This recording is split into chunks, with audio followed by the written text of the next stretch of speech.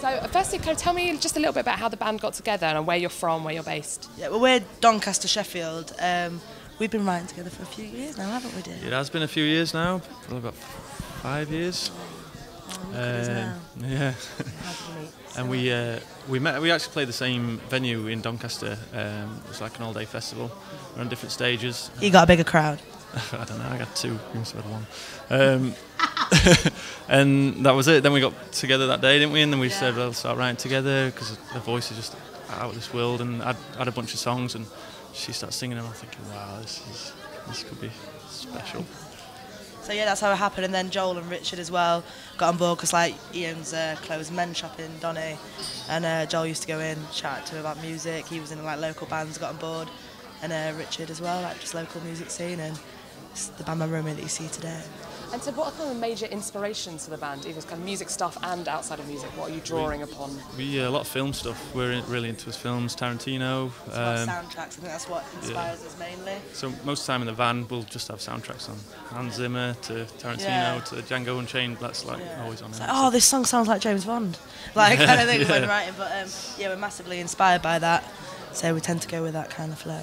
And if you made a film soundtrack, what would the film be about? Like, how would it fit in? Oh, love, death, violence, loads of blood, and uh, a bit more love, rompy sex scene, and that'd be fine. And tonight you are performing in the NME Lock-In, which is our We office. are, Yes. How do you feel about performing in an office? I like it. Offices are nice. If this is what an office looks like, I quit the van. Here you go. Well, I've um, yeah, that's it.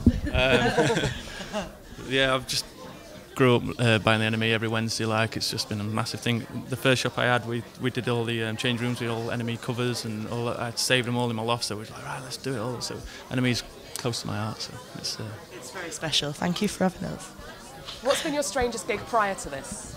Any weird Strangest ones? gig. We have ah, strangest gig is how the night actually ended, not the actual gig. We got our first Radio One play, and then our bassist Joel Phillips jumped in the River Thames at six o'clock in the morning wearing a dress. Uh, got pulled out the other side, and luckily they were like, "Right, we've heard you on Radio X. We like you. We'll let you off if you send us a CD." So they did. However, we don't condone that ever, so don't do that. But that was probably the weirdest morning after a gig night, ever. morning, yeah. yeah. Yeah, that was fun. Uh, what would be on your dream rider? Money's no object. Um, Megan Fox Uh, yeah, all right. Um, and a spaceship. Wonder Woman then if we're doing that. Wonder Woman, Megan Fox, and a spaceship, and the interior is red velvet. So nothing too much, just. Thank, you very you. much. Thank you. Thank Yes. you. Good.